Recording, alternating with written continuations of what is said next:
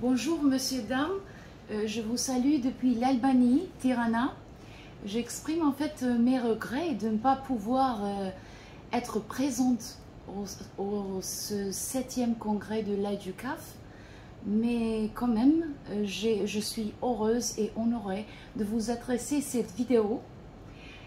D'abord, je voulais remercier Monsieur Jean-Paul Jean, secrétaire général, général et de, toute cette coopération pendant ces années, ainsi que M. Souhey Laboud, président de l'AUCAF et premier président de la Cour de cassation de Liban, et M. Victor Dossi Adossou, premier président de la Cour suprême du Bénin, et aussi de vous remercier d'avoir organisé ce congrès dans ces temps difficiles sanitaires. Euh, ma présentation euh, que je vais aborder concerne la diffusion et la publication des arrêts de la Cour suprême d'Albanie. Et il y en a cinq parties que je vais aborder.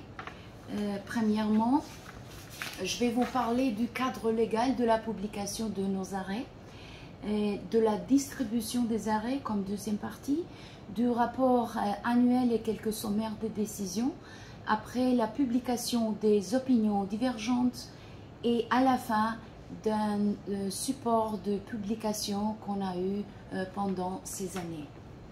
Euh, premièrement, la Cour suprême de la République d'Albanie se trouve au sommet de l'ordre judiciaire et assure l'administration légale et impartiale de la justice pour tous les citoyens du pays, contribuant ainsi au standard d'un procès équitable.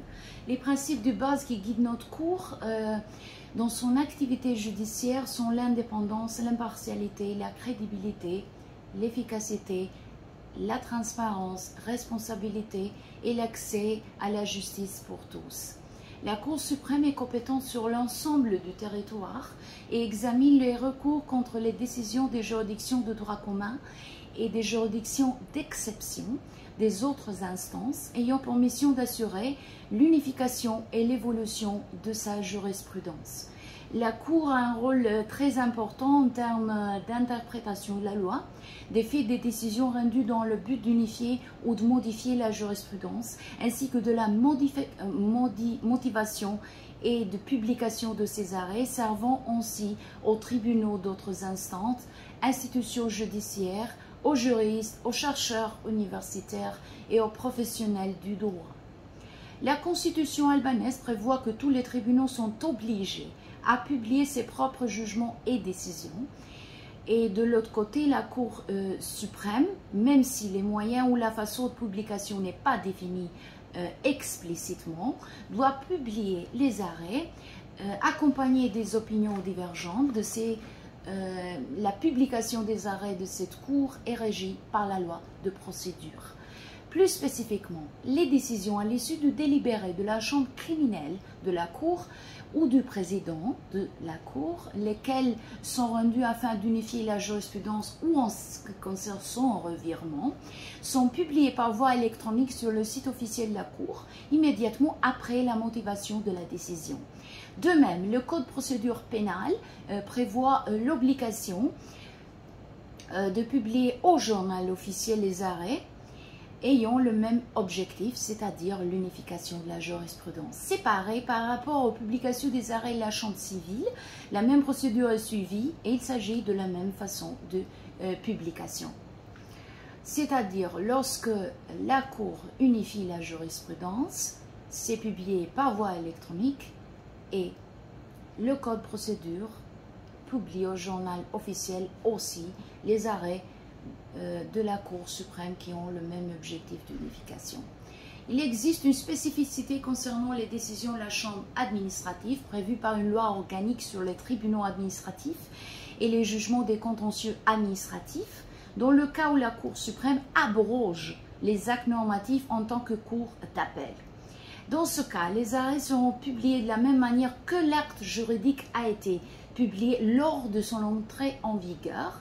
Ainsi, si par exemple la Cour suprême abroge une décision de Conseil de ministre entrée en vigueur euh, par publication au journal officiel, euh, les décisions La publication de, de, cet arrêt se fera aussi au journal officiel. En outre, comme mentionné auparavant, les décisions à l'issue du délibéré aussi de la Chambre administrative de la Cour relatifs à l'unification de la jurisprudence et les arrêts sont publiés euh, au site internet et au journal officiel au même titre que celles de la Chambre criminelle et civile.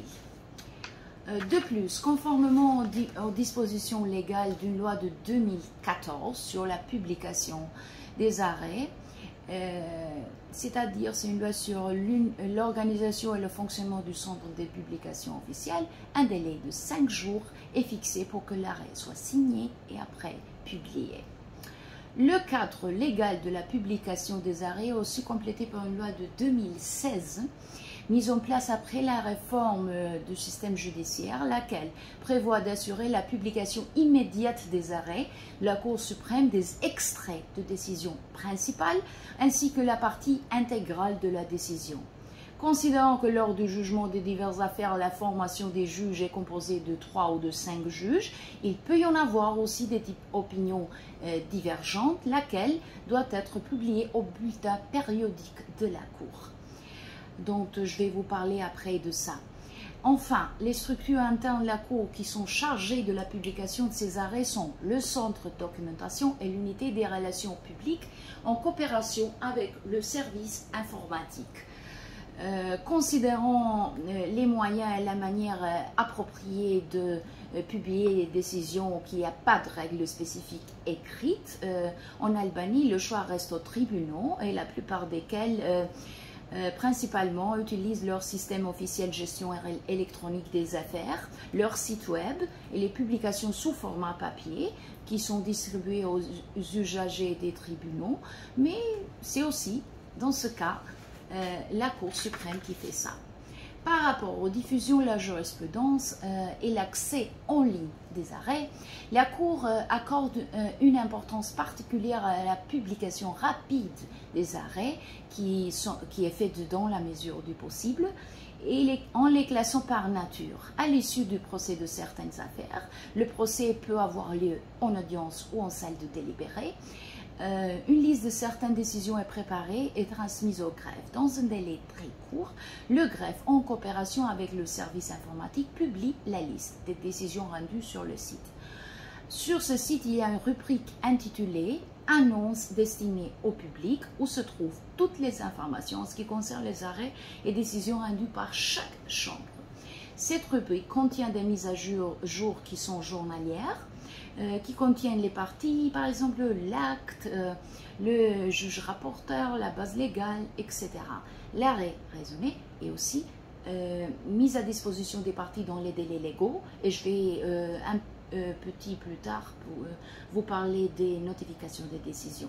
La deuxième rubrique, c'est l'arrêt, les arrêts de la Cour, où on peut trouver le moteur de recherche des décisions, dont il y a des filtres, par exemple les mots-clés, l'objet de recours, euh, le type d'affaire, le tribunal d'où provient l'affaire, etc. En outre, la Cour publie aussi les extraits des parties principales des arrêts les plus importants sur la plateforme LinkedIn et Facebook. Et aussi, il y a le bulletin informatif, le newsletter des arrêts sélectionnés des chambres chaque trois mois. Il est publié chaque trois mois et envoyé aux abonnés et aussi accessible sur le site internet par rapport aux notifications des décisions, les règles de communication sont prévues par les codes procédures aussi et un principe à propos des arrêts de la chambre civile. Après le raisonnement et la signature de l'arrêt, le service du greffe de la Cour notifie les décisions. C'est une modification récente, tout à fait une loi de 2021 du code procédure civile. La communication se fait soit par notification écrite, soit par voie électronique. Si ce n'est pas le cas, quiconque peut nominer une personne autorisée pour recevoir les notifications. Cet acte est déposé euh, à la Cour au registre du portail euh, électronique national administré par le Conseil supérieur de la magistrature. De plus, par rapport à la chambre criminelle, il y a une euh, petite spécificité après les modalités du code procédure pénale, parce que l'annonce de la décision en audience ne vaut plus comme notification des parties. C'est-à-dire, les arrêts de la chambre civile de la Cour euh, pardon, de la Cour sont communiqués aux parties à l'adresse déclarée de leur part, malgré leur présence et leur, ou euh, leur absence à l'audience du prononcé de l'arrêt. Enfin, le code de, procédure pénale prévoit aussi un cas spécifique quand, se basant sur un arrêt de la Cour suprême, une personne est soit dispensée d'une peine d'emprisonnement, une peine complémentaire ou une mesure de sûreté. Dans ce cas, la décision est communiquée immédiatement euh, au tribunal compétent. De toute façon, la voie électronique pour euh, le moment se pratique le plus à la Cour. Concernant la chambre administrative, sont les mêmes règles de procédure euh, du droit civil qui s'appliquent. Par euh, rapport euh, que je vais mentionner, le rapport annuel et les sommaires de décision, je vais vous dire, mesdames et messieurs, qu'en mars 2022, la Cour suprême albanaise a publié son rapport annuel 2021 et le focus principal duquel étant de refléter les progrès de la jurisprudence de la Cour au cours d'une année très dynamique en termes de combler les vacances des juges, conseillers juridiques et le personnel administratif. Le principal défi, c'est l'examen de l'arrière des recours, qui a été principalement euh, causé par le processus de vetting des juges, commencé en 2017 et approuvé en 2016. Des mesures organisatrices et administratives ont été prises dans le but d'augmenter l'efficacité des structures de la Cour et d'améliorer la qualité de service au public. Ce rapport contient aussi des extraits de principales décisions des chambres de la Cour. Il y a eu aussi une publication des arrêts pour la période 2016-2021 qui mérite d'être mentionnée, ainsi que les publications sous format papier d'arrêts unificateurs euh, de ces chambres en deux temps. Mon quatrième point, c'est relatif à la publication des opinions divergentes, parce que je vais vous dire qu'en application de la Constitution et la loi de 2016, la Cour suprême publie les opinions divergentes sur son site et lorsqu'il s'agit des arrêts unificateurs, la partie intégrale de l'arrêt est publiée au journal officiel, y compris les, opinions convergentes. Euh, les arrêts de la Chambre administrative sont publiés jointement aux opinions divergentes de la même manière euh, que l'acte juridique normatif a été publié lors de son entrée en vigueur. Euh, par rapport au support aux publications, euh, il y a eu certains partenaires internationaux qui nous ont aidés pendant ces années, opérant en Albanie, et, la Cour suprême a publié des éditions relatives à la jurisprudence, mais non seulement. Je vais vous mentionner notre coopération avec l'Agence des États-Unis pour le développement international et il y a quatre documents qui ont été publiés. Le plan d'action pour réduire les recours en arrière non examinés, et aussi certaines brochures d'information destinées au public. Par exemple, euh, comment fonctionne la Cour suprême, déposer un recours devant la Cour suprême et aussi la Cour suprême au public. Euh, une publication très pertinente a été celle euh, par, euh, publié par le partenaire, la fondation allemande Hans Seidel, qui a soutenu deux publications d'ouvrages concernant les extraits des arrêts unificateurs et les standards d'examen des recours euh, de la Cour suprême pour la période 2000-2014 et aussi une mise à jour 2000-2019.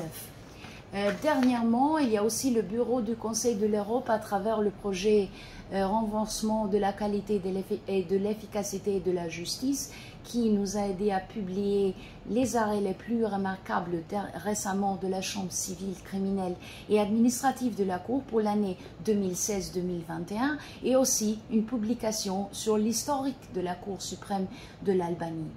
Je vous remercie, Monsieur Dame, de votre aimable attention et je vous souhaite un beau congrès.